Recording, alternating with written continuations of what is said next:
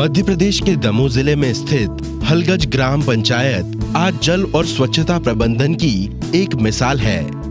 एक साल पहले तक गाँव में जल और स्वच्छता को लेकर अपेक्षित परिणाम नहीं मिल पाए थे। कई शौचालय अनुपयोगी हो गए थे। बाहर शौच करने के लिए जाते थे पहले।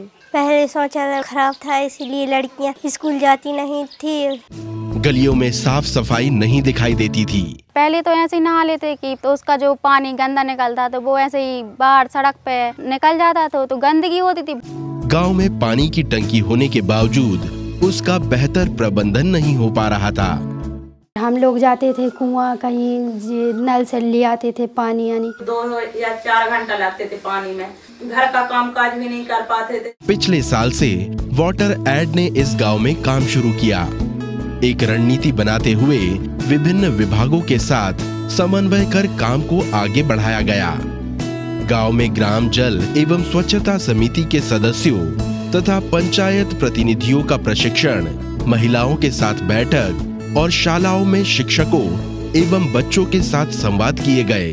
सब लोगों को खाना के पहले भी हाथ धोना है खाना के बाद भी हाथ धोना है साफ़ सफ़ाई से रहना ठीक है? गाँव में ट्रांजिट वॉक सोशल मैपिंग और एम वाटर ऐप के माध्यम से डोर टू डोर सर्वे कर जरूरतों एवं प्राथमिकताओं की पहचान की गई।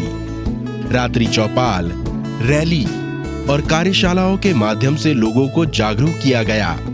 जल और स्वच्छता को लेकर ग्राम कार्य योजना बनाई गई। जन सहभागिता और पंचायत एवं सरकारी विभागों के समन्वय से अब गाँव में बदलाव दिखाई दे रहे हैं। पंचायत के जनप्रतिनिधि के नाते मैंने संस्था को पूरा सहयोग किया है और यहाँ पर बहुत अच्छा काम हुआ है जो आज तक मैंने नहीं देखा।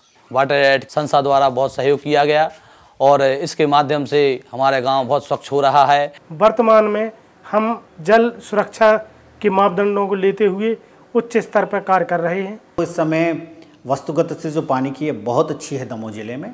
लोगों को अच्छा पानी मिल रहा है।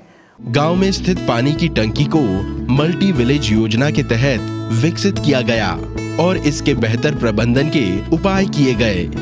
यहाँ के सभी घरों में नल कनेक्शन के माध्यम से पानी की सप्लाई की जा रही है। जब से अपने यहाँ पर टंकी बन गई जल नल योजना की सुविधाएँ हो गई सर हर घर पानी जा रहा है कोई बात की दिक्कत नहीं है। अब हम लोग पानी जाते कभी कभी तीन घंटे तक लग जाते थे।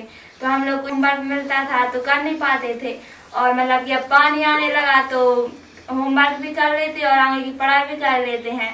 गाँव खुले में शौच से मुक्त हो गया है।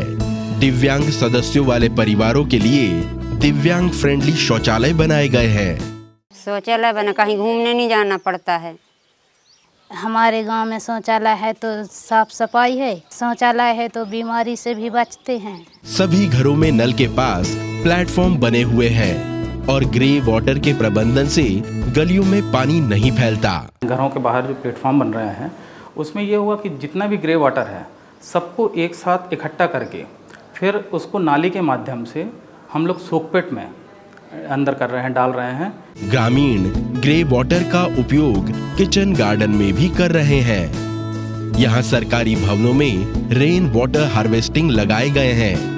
शालाओं में बेहतर शौचालय और हैंड वॉशिंग प्लेटफॉर्म बनाए गए हैं। शौचालय घर पे भी बन गया स्कूल में भी बन गया साफ़ सफ़ाई भी हो गई स्कूल की। किशोरियों को व्यक्तिगत साफ़ सफ़ाई और स्वच्छता पर प्रशिक्षण दिया जा रहा है। ग्राम जल एवं स्वच्छता समिति द्वारा जल कर का निर्धारण किया गया है और उसकी नियमित वसूली होती है।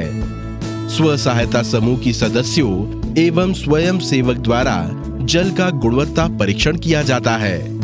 ग्रामीण अब जल और स्वच्छता के महत्व को समझने लगे हैं। हम लोगों ने यहाँ दमोह ज़िले में जो काम शुरू किया है एक वासिक्योर विलेज को मॉडल बनाने के उसमें। आज हम कह सकते हैं कि हमारा जो हलगत गाँव है वो हमने एक मॉडल के रूप में हैं।